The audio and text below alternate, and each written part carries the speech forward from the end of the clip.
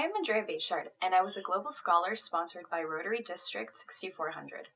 Now I am studying intensive French and Spanish and doing an internship at the Mexican consulate.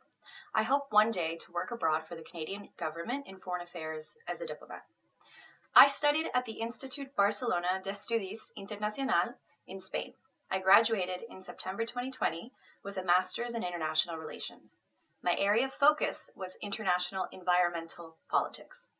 During my education, I participated in various Rotary events with my host club, such as book drives, environmental cleanups, and volunteering during the pandemic to provide at risk citizens their basic necessities.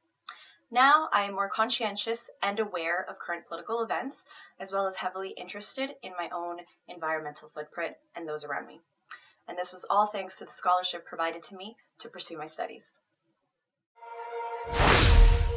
Hello, I am Melanie Banks. I was a global scholar sponsored by Rotary District 6400. Now I am a museum collection registrar in a small community in northern Quebec. I studied at the American University of Rome in Italy and graduated in 2017 with a Master's of Sustainable Cultural Heritage. My area of focus was community and economic development. During my education, I took part in Rotary activities in both Canada and Italy.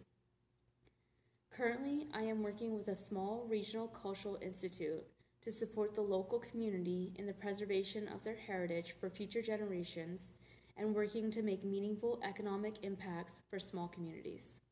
Thank you.